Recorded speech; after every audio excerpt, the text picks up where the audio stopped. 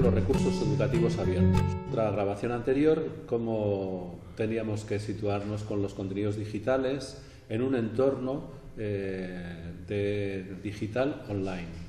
Y uno de los eh, procesos o, los temas que pueden ser más interesantes son los REAS. Es está potenciado por la UNESCO y el Instituto Tecnológico de Massachusetts y se, definen los REAS como aquellos materiales que están preparados para compartirse de manera abierta y gratuita y que pueden ser utilizados en la enseñanza, el aprendizaje, la investigación, etc. Mm, no hace mucho, en 2012, en una declaración de París, se volvió a hablar sobre los REA y se matizó un poco más esta definición de los recursos educativos abiertos eh, que pueden ser, eh, que tienen que ser de dominio público y publicados bajo una licencia abierta, que pues, se puedan usar, modificar, redistribuir sin ninguna restricción,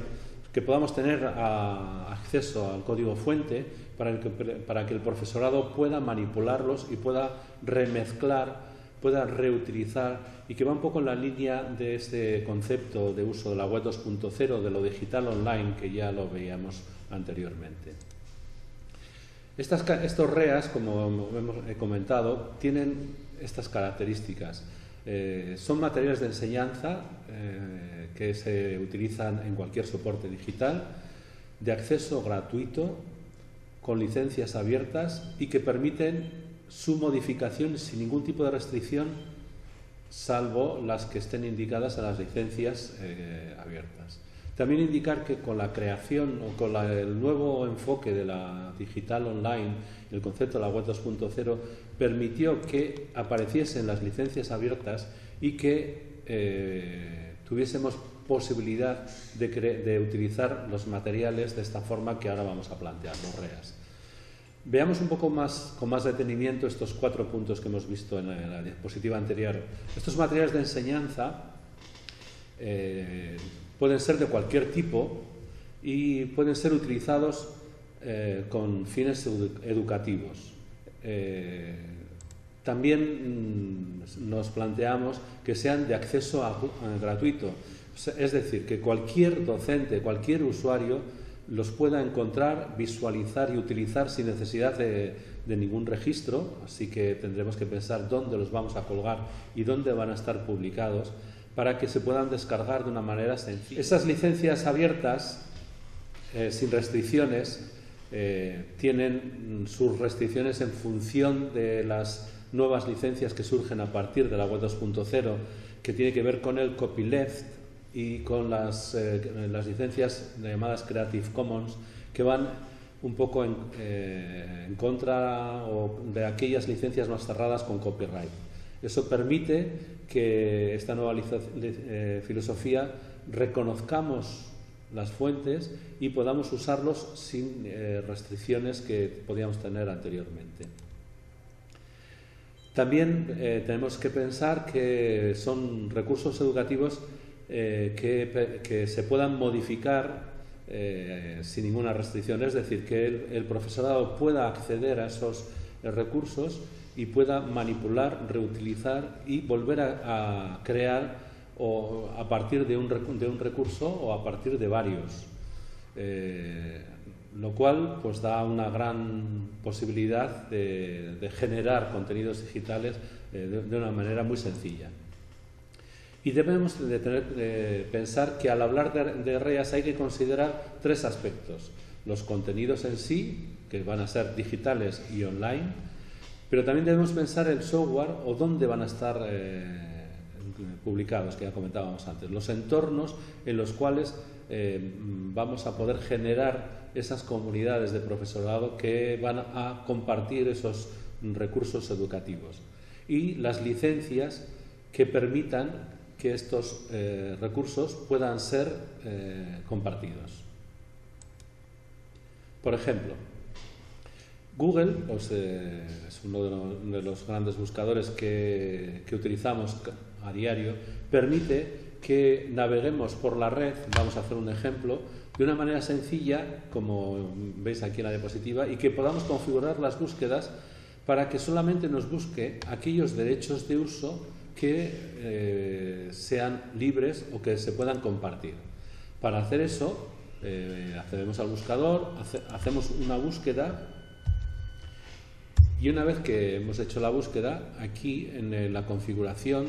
donde tenemos la ruedita de entrada, tenemos el ítem búsqueda avanzada que permite configurar los derechos de uso. Aquí en la parte inferior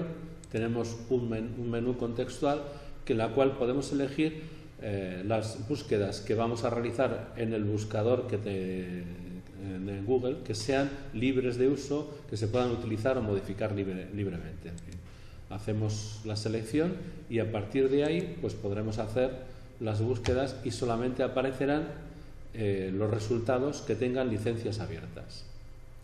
Otra posibilidad es las imágenes con licencias.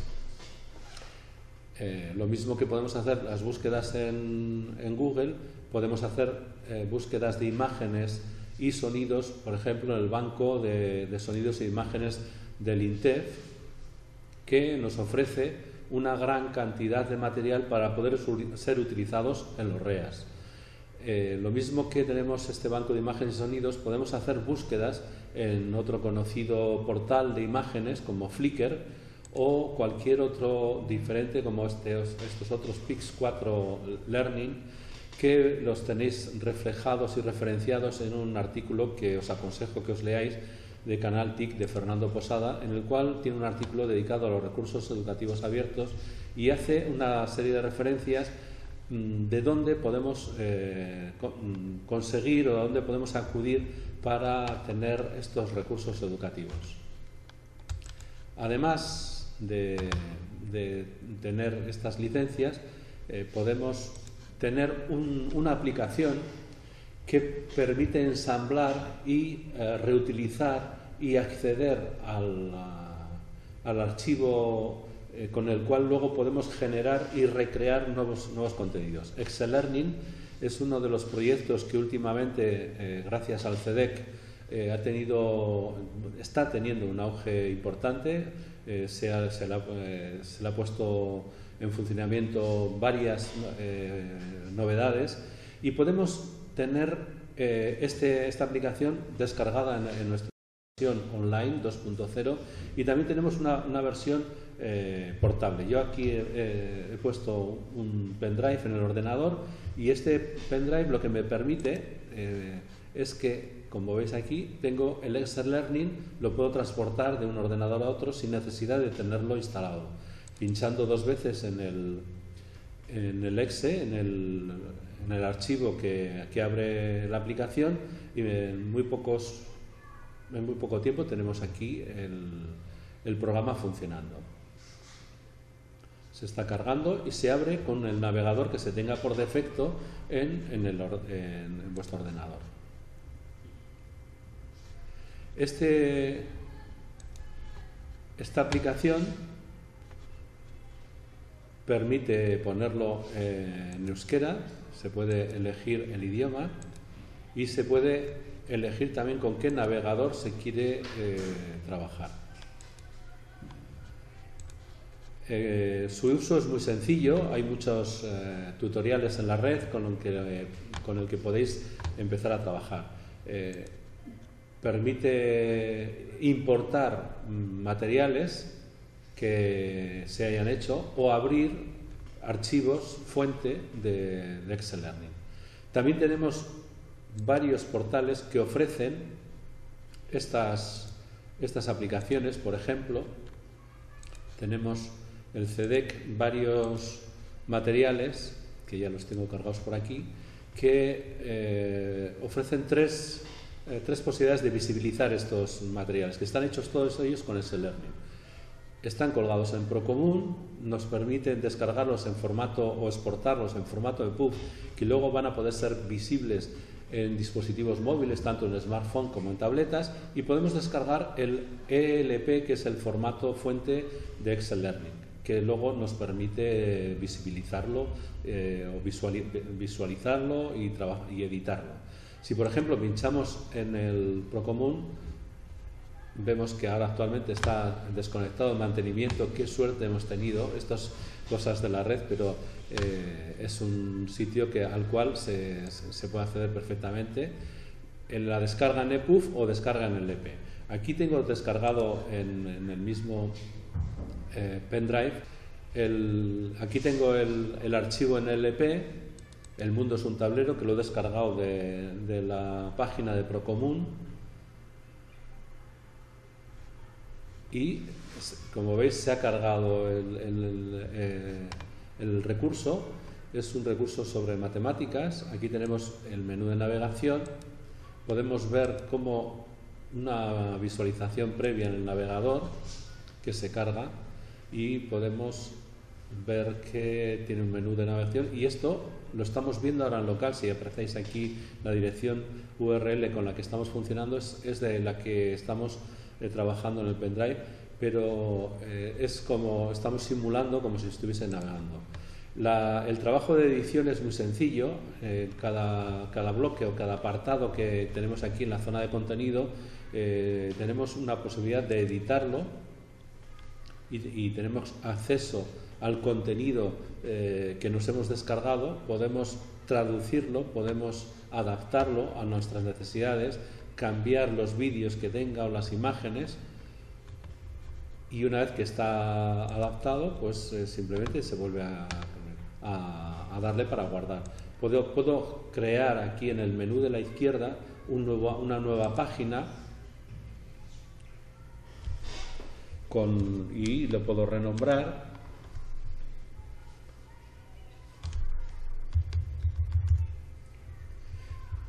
pongo un, un nombre que crea conveniente, que vaya con, el tema con el que va y inmediatamente eh, le puedo añadir un bloque de texto en el cual puedo añadir el contenido que crea conveniente, le puedo añadir una imagen, hacer las búsquedas de imágenes libres eh, que, tenga eh, en la red o que haya descargado. Esto simplemente lo doy, lo puedo guardar y veis que aquí ha generado un nuevo ítem en el menú. Lo puedo ver eh, una visualización previa y, y vemos inmediatamente cómo este nuevo ítem ya está funcionando y en muy poco tiempo ese recurso que yo me he bajado, aquí veis el nuevo ítem que he creado la página, este nuevo, este nuevo recurso puedo adaptarlo a lo que yo crea conveniente. Incluso puedo importar eh, otros eh, archivos de, de, Excel Learning. También es muy interesante, la una vez que ya lo tengo creado, la exportación como HTML o en Score o paquetes IMS que permiten eh, insertarlo en un Moodle, lo cual pues, puede servir para para vuestro centro eh, que tengáis vuestro Moodle funcionando. Y aquí tenéis el formato EPUB 3 para dispositivos móviles. Eh, además de, eh, hay un archivo de XLib que sirve para traducir, que es uno de los elementos nuevos que se han introducido en Excel Learning gracias a Técnica, que, que lo ha puesto en funcionamiento. Bueno, mm, si queréis, eh, hay varios centros que ya han empezado a trabajar con Excel Learning para diversos, eh, con diversas eh, diferentes ideas y es una herramienta sencilla de, poner en funcionamiento y de trabajar con él.